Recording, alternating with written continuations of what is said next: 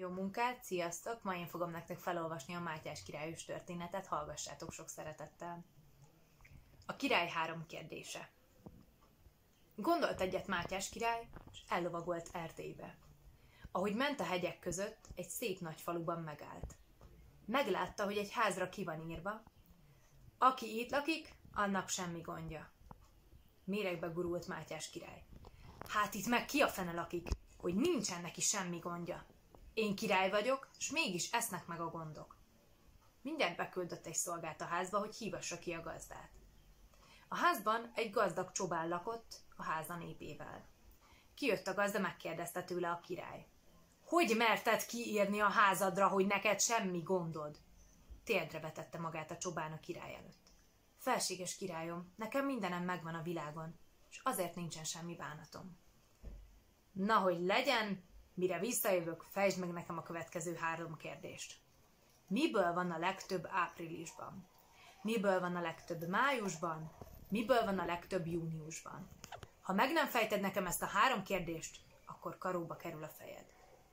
Lett gondja csobánnak. Azt se tudta, mit csináljon. Főtt a feje éjjel-nappal. Volt neki egy ügyes, szép leánya.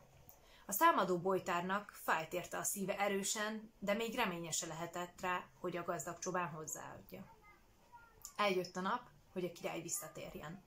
A csobán szinte az eszét vesztette bújában. Kérdezte tőle a bolytár. Mi öli kendet, gazduram? Mondja a csobán, hogy mi a baj. Ezért egyet se búsuljon Ken, csak adja ide a gúnyáját. Én majd megfelelek Mátyás királynak. De ígérje meg, hogy nekem adja feleségül a leányát. Megígérte a csobán, hogy ne ígérte volna, majd meghalt félelmében. A bolytár aztán előállt a király szólítására. Kérdezte a király, aki azt gondolta, hogy a csobán áll előtte. Na te gondtalan csobán! Miből van a legtöbb áprilisban? Rügy, király uram. Hát májusban? Akkor meg a virág, felelte a bolytár. Miből van a legtöbb júniusban? Fűszál, felséges királyom. Látom, jól meg tudsz felelni mindenre.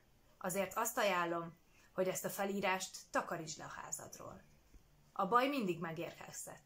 Senki sem mondhatja el magáról, hogy semmi gondja. Még a király se. Mágyás király ezzel otthagyta a bolytárt, és ellovagolt a kíséretével. A csobán belátta, hogy nagyon ostoba volt. A bolytára okosabb ember nálánál.